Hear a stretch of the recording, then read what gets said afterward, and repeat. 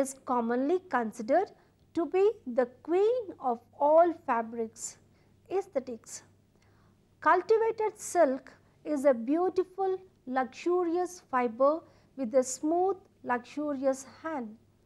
This type of silk can be dyed and printed on bright colors that are very pleasing to the eye.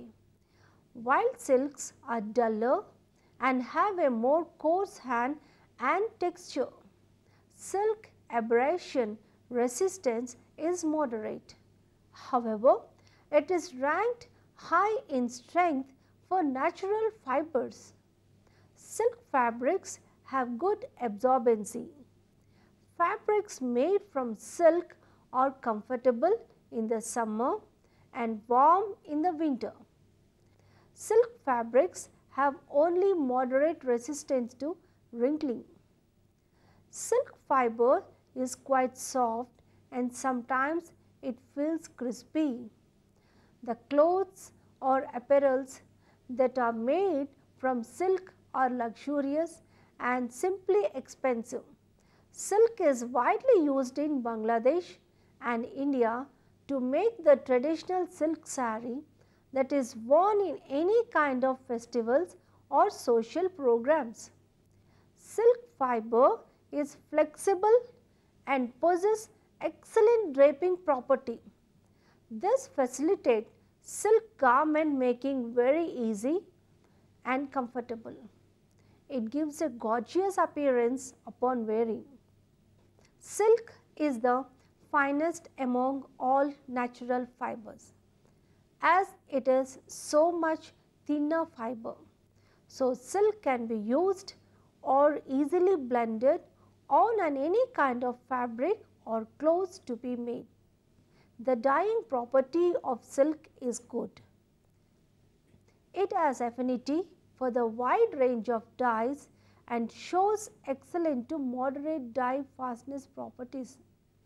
Due to the fiber's flexibility and other convenience, the silk fabric can easily be printed without any problem. The washing fastness of silk fiber is good. One can wash the silk fabric by water and its luster can be rejuvenated by treating with vinegar or dilute acetic acid in the last wash.